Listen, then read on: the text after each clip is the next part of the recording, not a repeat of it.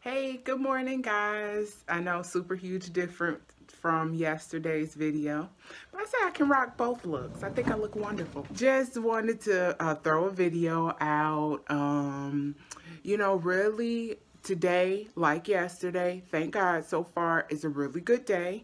It is super early in the morning, so I haven't done much yet, but overall, uh, I felt pretty good when I woke up. So I say the whole day is going to be great.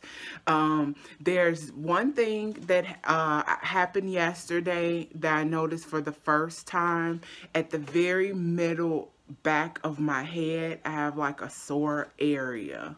So I don't know if that's like maybe where I might start losing hair first or something. I don't know.